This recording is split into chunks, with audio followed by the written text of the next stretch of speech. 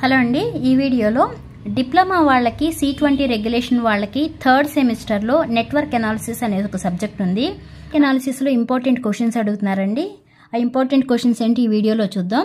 మీకు first unit వచ్చేప్పటికి mesh current and node voltage analysis దానిలో ఆ యూనిట్ వెయిటేజ్ వచ్చి సెవెంటీన్ మార్క్స్ సెవెంటీన్ మార్క్స్ అంటే త్రీ షార్ట్స్ ఒక ఎస్ఏ త్రీ షార్ట్స్ వచ్చి three plus three plus three ఎస్ఏనేమో eight marks.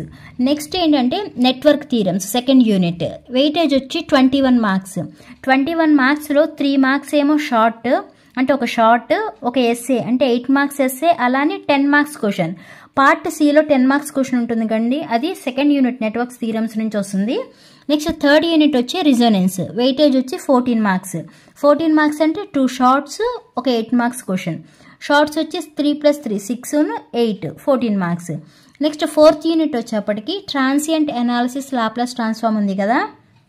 Weightage వచ్చి సెవెంటీన్ మార్క్స్ అంటే త్రీ షార్ట్స్ను ఒక ఎయిట్ మార్క్స్ క్వశ్చన్ మొత్తం సెవెంటీన్ మార్క్స్ నెక్స్ట్ ఫిఫ్త్ యూనిట్కి వచ్చేప్పటికి ఫిల్టర్స్ అండ్ ఎటిన్యూయేటర్స్ ఆ ఫిల్టర్స్ అండ్ ఎటిన్యూయేటర్స్ వచ్చే వెయిటేజ్ ఏమో లెవెన్ మార్క్స్ అంటే ఒక షార్ట్ అంటే షార్ట్ వచ్చి త్రీ మార్క్స్ అలానే ఎస్ఏ వచ్చి ఎయిట్ మార్క్స్ కాబట్టి three plus eight eleven marks ఇప్పుడు దీనిలో షార్ట్స్కి ఏమేమి ప్రిపేర్ అవ్వాలి అలానే ఎస్ఎస్కి ఏమేమి ప్రిపేర్ అవ్వాలి అని వీడియో చూద్దాం.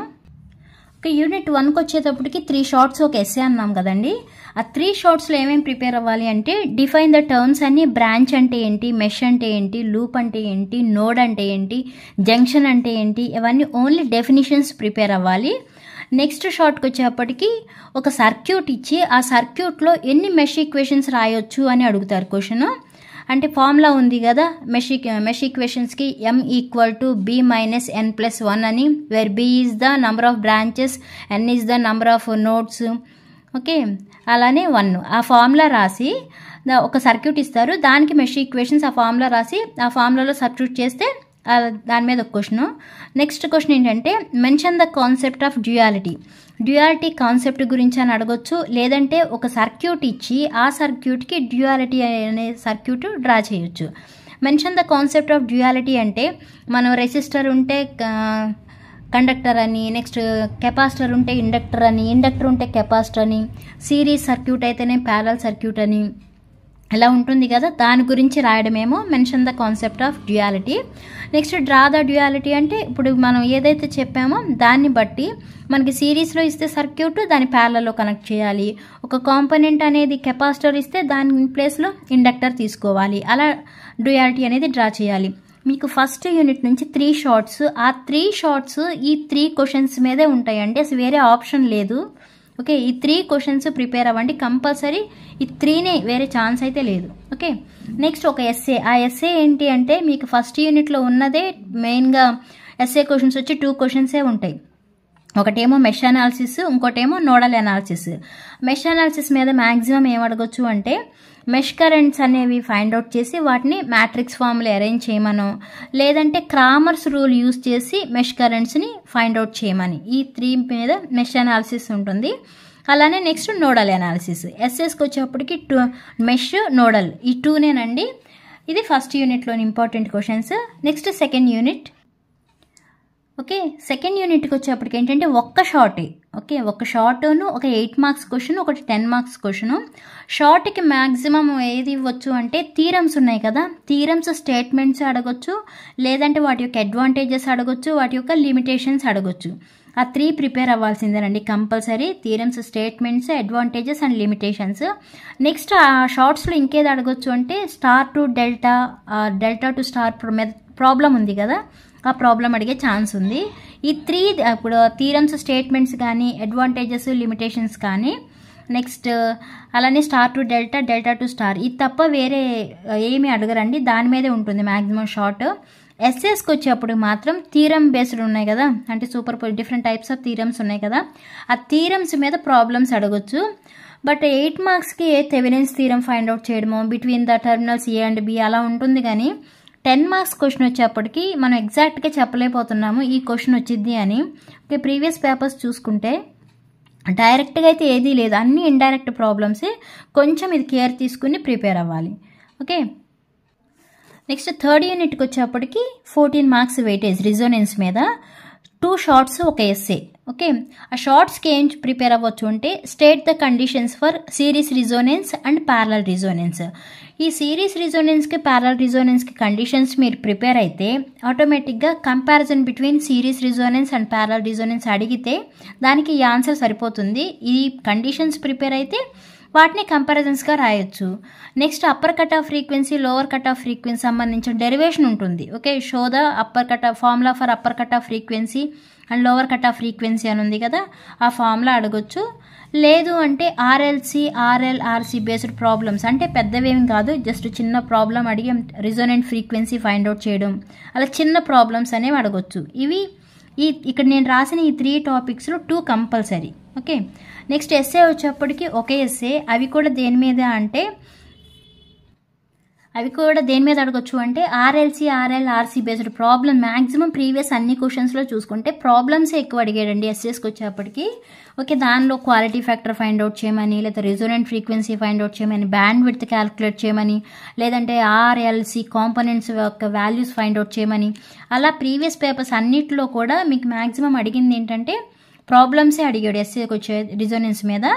అలా ఇంకా అది కాదు అనుకుంటే నెక్స్ట్ ఉన్న చాయిస్ ఏంటి అంటే సిరీస్ ప్యారలల్ రిజోనెంట్ ఫ్రీక్వెన్సీస్కి సంబంధించిన డెరివేషన్ ఉంది కదా ఆ డెరివేషన్ అడగొచ్చు. నెక్స్ట్ ఫోర్త్ యూనిట్కి వచ్చేప్పటికి weightage seventeen marks three shorts ఒక ఎస్ఏ ఓకే త్రీ షార్ట్స్ ఒక ఎస్ఏ అడుగుతారు. ఆ త్రీ షార్ట్స్లో write the Laplace or inverse Laplace transform కొన్ని ఫంక్షన్స్ ఉన్నాయి కదా. యూనిట్ స్టెప్ ఫంక్షన్ కానీ ఎక్స్పోనెన్షియల్ ఫంక్షన్ కానీ డ్యాంప్డ్ సైన్ ఫంక్షన్ కానీ డ్యాంప్డ్ కొసైన్ ఫంక్షన్ కానీ ఇలా కొన్ని ఇంపార్టెంట్ ఫంక్షన్స్ ఉన్నాయి కదా. ఆ ఫంక్షన్స్కి లాప్లాస్ ట్రాన్స్ఫార్మ్ ఫార్ములా కానీ అలానే ఇన్వర్స్ లాప్లాస్ ట్రాన్స్ఫార్మ్ కానీ రాయమని అడగొచ్చు. డెరివేషన్ కాదు జస్ట్ ఆ unit step function okay U of T equal to ఎంత అవుతుంది? అలానే ఎక్స్పోనెన్షియల్ ఫంక్షన్ అనుకోండి. Laplace transform of E power minus AT equal to N ఏమొస్తుంది అండ్ అది అలా రాస్తే సరిపోతుంది. Next find the Laplace transform and inverse Laplace transform మీకు చిన్న చిన్న ప్రాబ్లమ్స్ ఉన్నాయి. లాప్లాస్ ట్రాన్స్ఫార్మ్ మీద అలానే ఇన్వర్స్ లాప్లాస్ ట్రాన్స్ఫార్మ్ మీద. ఆ ప్రాబ్లమ్స్ ఒకటి అడగొచ్చు ఒక షార్ట్గా నెక్స్ట్ ఇనీషియల్ వాల్యూ తీరం అలాగే ఫైనల్ వాల్యూ తీరం ప్రాబ్లమ్స్ కూడా అడగొచ్చండి. ఈ త్రీ షార్ట్స్ అనమాట మీకు వెయిటేజ్ వచ్చి. నెక్స్ట్ ఒక ఎస్ఏ ఎస్ఏ వచ్చేప్పటికి explain the DC response of ఇది వెరీ వెరీ ఇంపార్టెంట్ అండి. డీసీ రెస్పాన్స్ ఆఫ్ ఆర్ఎల్సీ కానీ ఆర్ఎల్ కానీ అలానే ఆర్సీ కానీ ఈ త్రీలో కంపల్సరీ ఒకటి ఉంటుంది. ఓఆర్ఆర్ అండి నెక్స్ట్ ఆప్షన్ ఏమీ లేదు. ఏంటిది? సెకండ్ షిఫ్టింగ్ ప్రాపర్టీ కానీ initial value and final value theorem వాటి యొక్క ప్రూఫ్స్ ఉన్నాయి కదా? దాన్ని అడగొచ్చు. Okay next fifth unit fifth యూనిట్కి వచ్చి ఫిల్టర్స్ అండ్ ఎట్యూనియేటర్స్ కదా? వెయిటేజ్ లెవెన్ మార్క్స్ అంటే ఒక షార్ట్ ఒక ఎస్సే మీకు షార్ట్ కంపల్సరీ డెఫినేషన్ అడుగుతాడు. ఆ డెఫినేషన్స్ అంటే low pass high pass band pass band stop. ఇదేమీ లేదు. చిన్న డెఫినేషన్లో పాస్ అంటే లో ఫ్రీక్వెన్సీని అలౌ చేస్తుంది. హై పాస్ అంటే హై ఫ్రీక్వెన్సీని అలౌ చేస్తుంది. బ్యాండ్ పాస్ అంటే పర్టికులర్ బ్యాండ్లో ఉన్న ఫ్రీక్వెన్సీస్ని మాత్రమే అలౌ చేస్తుంది. అదే బ్యాండ్ స్టాప్ అంటే పర్టికులర్ బ్యాండ్లో ఉన్న ఫ్రీక్వెన్సీని స్టాప్ చేస్తుంది. రిమైనింగ్ వాటిని అలౌ చేస్తుంది. అలాగే నెపర్ అంటే ఏంటి? డెసిబల్ అంటే ఏంటి? క్యారెక్టరిస్టిక్ ఇంపిడెన్స్ అంటే ఏంటి? ప్రోపగేషన్ కాన్స్ ఈ డెఫినేషన్సే అడుగుతారు మ్యాక్సిమం షార్ట్. ఓకే? వేరే ఇంకా మీకు సిలబసే చాలా తక్కువ అన్ని డెఫినేషన్సే నెక్స్ట్ ఎస్ఏకి వచ్చేప్పటికి ఒక ఎస్ఏ అవి కూడా ఏంటంటే explain pi type and T type attenuators కానీ లేకపోతే pi type or T type attenuator problem కానీ మ్యాక్సిమం ఇవే అడగొచ్చు. లేదు ఇంకా వెళ్ళారు అంటే constant K low pass high pass ఫిల్టర్కి సంబంధించిన డెరివేషన్ ఉంది కదండి. ఆ డెరివేషన్కి వెళ్ళొచ్చు. లేదు అంటే డిజైన్లో పాస్ హైపాస్ ఫిల్టర్స్ కూడా ప్రాబ్లమ్స్ ఉన్నాయి. Previous maximum design constant K low pass filter constant K high pass filter అలా అడిగారు. షార్ట్గా కూడా అడిగారు. ఓకే? షార్ట్లీ డెఫ్ ఒకసారి డెఫినేషన్స్ అడిగారు. ఒకసారి ఏంటంటే ఒకసారి డిజైన్ కాన్స్టెంట్కే లో పాస్ హైపాస్ ఫిల్టర్ని డిజైన్ చేయమని అడిగారండి. నా సజె నా సజెషన్ అయితే ఏంటంటే ఫోర్త్ యూనిట్ ఫిఫ్త్ యూనిట్ మాత్రం చాయిస్ తీసుకోకుండా మొత్తం ప్రిపేర్ అవ్వండి. ఓకే ఫోర్త్ యూనిట్ అలానే ఫిఫ్త్ యూనిట్ చాయిస్ ఏం తీసుకోవద్దు. నెక్స్ట్ రిజోనెన్స్కి uh, వచ్చేప్పటికి ఏంటంటే conditions for series resonance parallel resonance ఆ టూ చూసుకోండి. అది చూస్తే ఆటోమేటిక్గా కంపారిజన్స్ ఇచ్చిన రాయగలరు. నెక్స్ట్ సెకండ్ యూనిట్కి వచ్చేప్పటికేమో థీరమ్స్ స్టేట్మెంట్స్ ఉన్నాయి కదా. ఆ థీరమ్స్ స్టేట్మెంట్సే కాదు వాటి యొక్క అడ్వాంటేజెస్ లిమిటేషన్స్ కూడా చూడండి. ఓకే అడ్వాంటేజెస్ లిమిటేషన్స్ చూస్తే మీరు కంపల్సరీ ఒక షార్ట్ అనేది అటెంప్ట్ చేయగలరు. అలానే star to delta delta to star. అవి చిన్న ప్రాబ్లమ్సే స్టార్ టు డెల్టా అది కూడా చేయొచ్చండి. అలానే ఫస్ట్ యూనిట్కి వచ్చేప్పటికి మాత్రం డెఫినేషన్స్ ఉన్నాయి కదా. బ్రాంచ్ అంటే ఏంటి మెష్ అంటే ఏంటి లూప్ అంటే ఏంటి జంక్షన్ అంటే ఏంటి ఓకే నోడ్ అంటే ఏంటి ఆ డెఫినేషన్స్. అలాగే నెంబర్ ఆఫ్ మెష్ ఈక్వేషన్స్ ఒక సర్క్యూట్ ఇస్తే number of mesh equations find out చేయడం నెక్స్ట్ డ్యూయాలిటీ కాన్సెప్ట్ కానీ ఒక సర్క్యూట్ ఇచ్చి దానికి డ్యూయాలిటీ నెట్వర్క్ డ్రా చేయడం కానీ ఆ త్రీలో కూడా కాస్త త్రీ వేరే ఆప్షన్ అయితే లేదు ఫస్ట్ యూనిట్. ఎస్ఏ వచ్చేప్పటికి mesh analysis or nodal analysis ప్రాబ్లమ్స్కి వచ్చేప్పటికి నెంబర్ ఆఫ్ ప్రాబ్లమ్స్ ప్రాక్టీస్ చేయాలండి. ఓకే